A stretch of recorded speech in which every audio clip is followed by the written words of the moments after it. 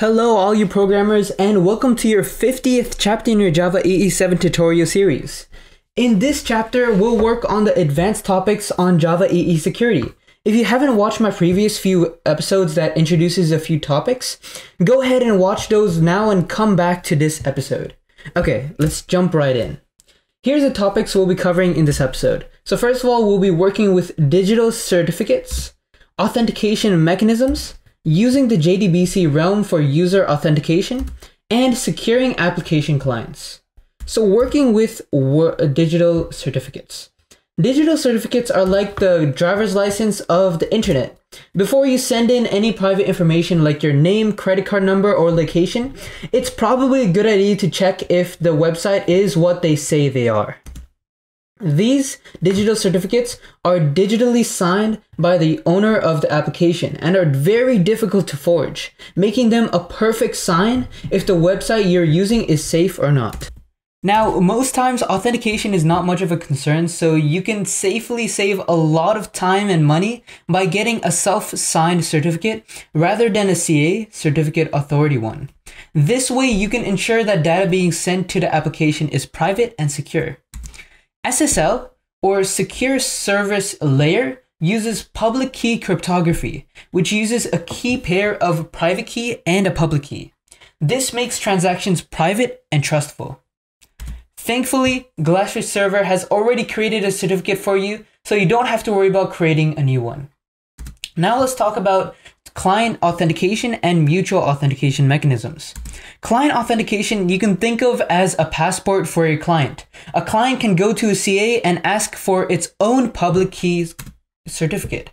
This allows servers to quickly authenticate the user without having to check for a username and password. And this method is much more secure than basic and form authentication that we've seen before. Mutual authentication is more like when the client and the server check each other if both of them are authentic.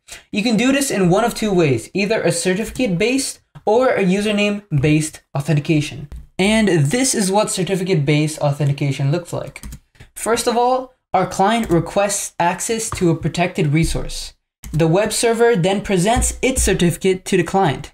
Then the client verifies this certificate from the trust store. And then if successful, the client then sends its certificate to the server.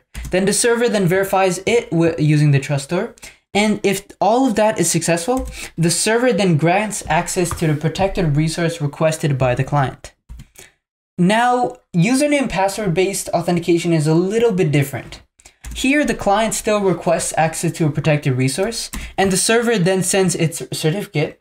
But in this case, the client's own trust store will then verify the server's certificate, and then only after that, then the client will send the username and password uh, to the server, and the server then verifies the client's credentials using its own server key store.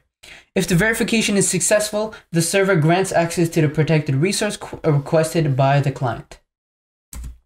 Now let's talk about using JDBC Realm for user authentication. An authentication realm, sometimes called a security policy domain or security domain, is a scope over which an application server defines and enforces a common security policy over a collection of users. Essentially, what that means is all these users that are underneath this authentication realm umbrella will have the same amount of security policies. A realm can be thought of as a database of users' names and passwords that identify valid users of a web application or set of web applications with an enumeration of the list of roles associated with each valid user. We'll be using Glassfish Server's own authentication realm, the file realm. Now let's secure our application clients. Finally, an application client makes use of an authentication service provided by the application client container for authenticating its users. An application client can provide a class called a login module to gather authentication data, or you can programmatically authenticate as well.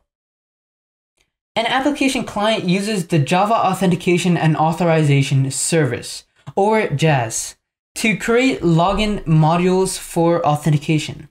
A login module uses the callback handler to both gather input, such as password or smart card pins, from users and to supply information, such as status information to users.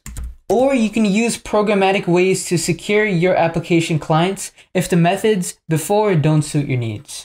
And that's it. That's all there is about the advanced topics on the Java EE security.